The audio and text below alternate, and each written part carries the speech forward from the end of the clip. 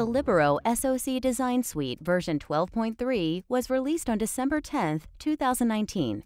Here are the new enhancements and features that come along with the release update. This release adds support for production timing for military operation conditions for PolarFire MPF 300TS devices at a core voltage of 1.0 volts with standard speed grade.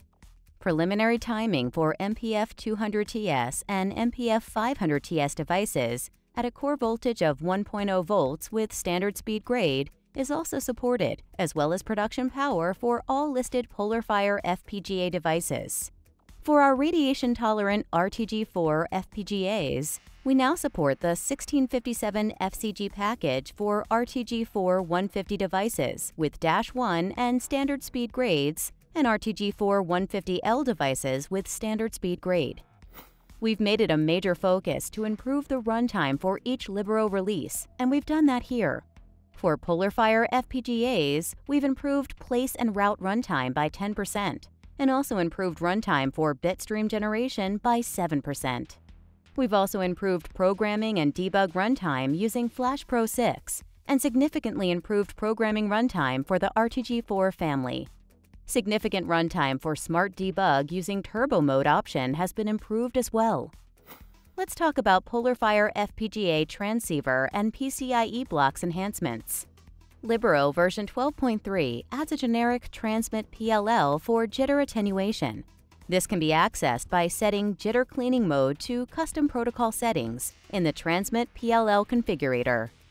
In addition, the Transmit PLL also supports the Spread Spectrum mode, which can be enabled using the SSCG modulation radio button in the Transmit PLL configurator. Enabling the SSCG modulation option will add a new SSCG modulation tab to configure the required parameters. This release also generates configuration reports for transceiver and PCIe blocks. A new configurator for RTG4 FCCC with enhanced PLL calibration has also been introduced. PLL instantiated in the RTG4 FCCC core with enhanced PLL calibration means that the non-triplicated fabric PLL lock stability is no longer dependent on the operating junction temperature.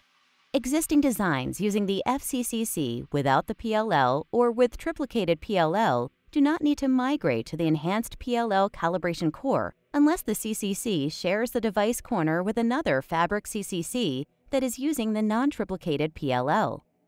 Here are a couple of enhancements for the SmartFusion 2 SoC and Igloo 2 FPGA families. We are now supporting extended configuration reports for clock conditioning circuit, SerDes, FDDR, and MSS or HPMS blocks. Libero SoC V12.3 supports locking of unused SerDes, FDDR, MSS, and HPMS blocks. With this release, the device underscore info programming action now reports the family name and product name of the device being programmed. It also reports the status of the Cortex M3. The SVF programming file format is now supported in the Bitstream export for SmartFusion 2 and Igloo 2 devices. Other enhancements include a consolidated multi-corner timing report and improvements to the design hierarchy navigation on HDL language duplication modules and multiple definitions error message for certain RTG4 devices. See documentation for details. This release also improves the hierarchical export option for Smart Design components. For PolarFire, the number of half-chip globals that can be automatically assigned by place and route has been increased from 24 to 36.